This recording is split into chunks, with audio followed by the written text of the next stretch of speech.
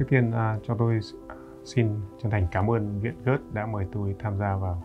uh, cái bài giảng của giáo sư uh, Susanna Rubop. Uh, ờ, đây là một cái bài giảng rất là thiết thực và cần thiết uh, đối với lại uh, xã hội Việt Nam hiện nay, đặc biệt là giới trẻ. Uh, bởi vì cái tình trạng sử dụng các mạng xã hội Việt Nam hiện nay là uh, rất là lớn là số lượng về mặt số lượng và cũng là rất là nhiều các cái mạng xã hội khác nhau. Theo một cái thống kê gần đây à, đến cuối tháng 6 năm 2020 thì số lượng người Việt mà sử dụng cái mạng xã hội à, lên đến 70 triệu người và hiện nay Việt Nam là đứng thứ bảy trên thế giới về số lượng à, người sử dụng Facebook. À, ngoài ra thì cũng có rất là nhiều các cái mạng xã hội khác mà được người Việt sử dụng như là YouTube, Zalo, WeChat à, rồi các cái mạng mua bán trực tuyến, à, các cái ứng dụng gọi xe vân vân.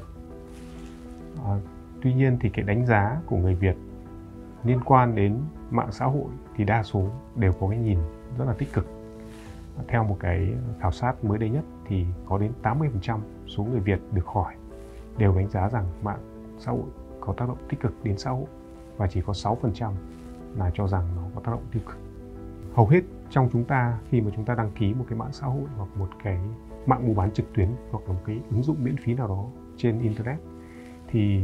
thường là không quan tâm hoặc không để ý đọc kỹ các cái điều khoản à, yêu cầu mà cho phép họ được trực tiếp à, lấy thông tin từ hình ảnh, video, à, message các tin nhắn rồi đến các cái à, danh bạ liên lạc với người thân và bạn bè. Đặc biệt là cái vấn đề này giới trẻ hầu như là không quan tâm. Và chúng ta cũng không biết rằng các cái mạng xã hội nói chung thì đều ờ, đang thu thập số liệu về chúng ta, đang theo dõi chúng ta. Và chúng ta cũng không biết là các mạng xã hội sử dụng các cái thông tin mà họ thu thập về chúng ta để phục vụ mục đích gì có làm phương hại đến bản thân chúng ta và xã hội hay không.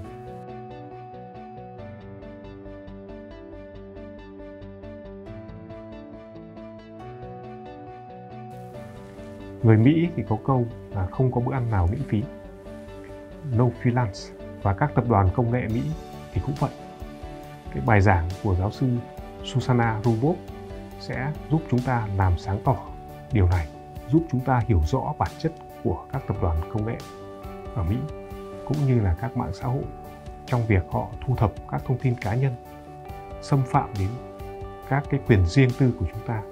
Và các cái dữ liệu này sẽ được phục vụ làm tài sản riêng của họ. Thay vì họ sử dụng các cái dữ liệu này một phục vụ cho một mục đích tốt đẹp thì họ lại sử dụng các cái dữ liệu của chúng ta để làm thay đổi hành vi và các quyết định của chúng ta. Là sử dụng chúng như là một công cụ kiếm tiền miễn phí.